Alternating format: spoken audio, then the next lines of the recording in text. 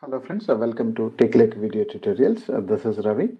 In this video, I'm going to give you one of the real-time scenarios. So you may get any kind of this kind of questions.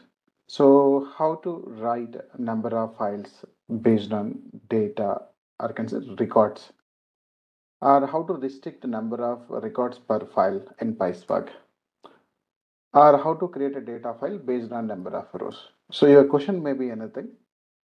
It's a simple thing. If you want to create a data file, just go with the number of record spaces, number of record bases.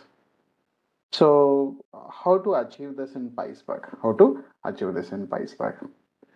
So what I'll do, I'll take one data file, which is uh, Amazon uh, reviews data in Databricks, which you can go and download this using Python library. So that is uh, URL library. So request dot uh, URL retrieve using this, which you can get that file. And the default this file is a compression file. So I'll uh, uncompress this file using gunzip in Linux. Once file is available, this is a bigger file, around 1.6 GB file, which is having around uh, 3.5 million data.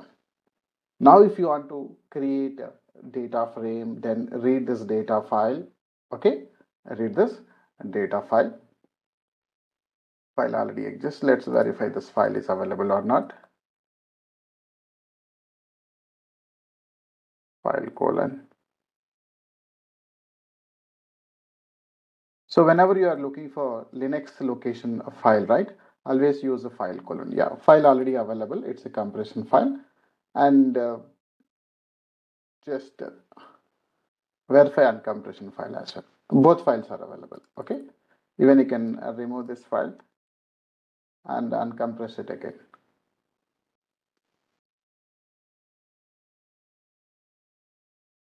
Okay. So I'm going to take this data file and I'll create a data frame reading this TSV file.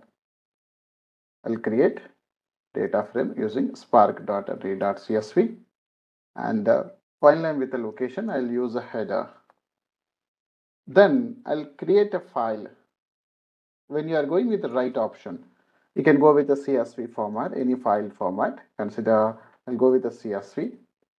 Then uh, mode you can go with the overwrite then you can use the option here number of record bases i want to create a file like every file should contain maximum 1 million records okay if i have more than 1 million then i should go with another file so there is an option called there is a option while creating a, of a data file based on number of rows so use this option max records per file so the second argument which you can provide the value.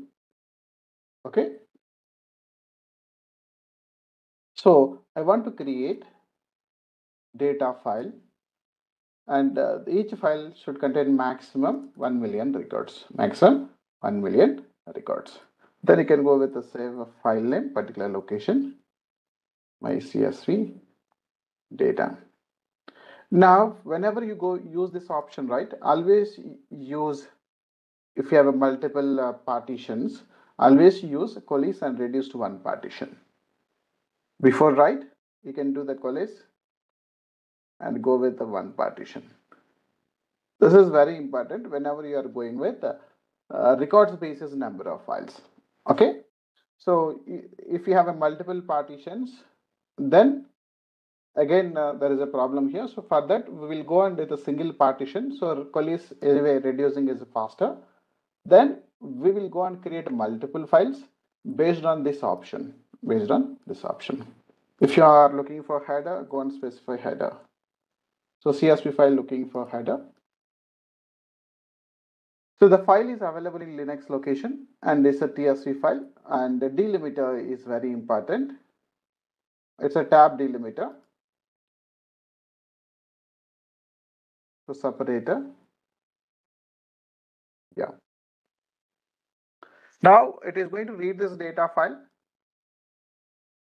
and a single coalesce one means one partition, but while creating a data files, it will create based on this option. So if you have more than 1 million records, if you have 10 million records, every file 1 million. So 10, 10 million means 10 files it will create. If you have 3 million, 3 files. 4 million, 4 files it will create.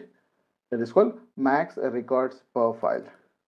We can use this option and specify how many records per file you are looking for. And after that, once it is available, you can go and create this data frame and verify this number of rows in each file. You can create another data frame, spark.read.csv and specify that location. And you can specify the header true and you can add a new column using a with column that is file name. Then you can use a function input underscore file underscore name function. And you can import that function using from pyspark.sql.functions library as a fun functions is one of the class. Input star means all functions are input file name. Then this data frame will be having all the files. With the file name you can do what you can do? You can go with a group by file name column then use a count. Okay? Now in this location go and verify. In this location it will be definitely it will be available in multiple files. Multiple csv files. But the csv files number of rows number of rows. In this location, four files it is created. Let's verify number of rows. Each file. So each file, how many rows are available? Let's go with the take the record count of file wise record count. I added a new column called the file name using the input file name. Then we'll take a record count. Then it will give you number of rows at each file. Number of rows at each file. So this way which we can go and implement while creating data files, databases, nothing but a record basis or number of rows basis data files, output files. Okay, consider every file you are looking for just uh, 100k records, uh, 1 lakh records, 2 lakh records, 1 million records, 2 million records. So that row basis if you want to create a data file, then now you see this 1 million records, one data file, another 1 million, another 1 million, the last one, remaining data. Okay, so remaining data it is created.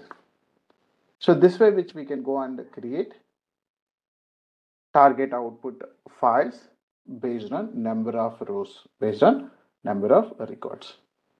So this notebook I'll upload in my GitHub. So you can go to my GitHub and it will be available. I'll place this GitHub URL in my video description and you can go through this code again if you are looking for. Okay. Thank you. If you like this video, please subscribe my channel. See you in another video. Thank you.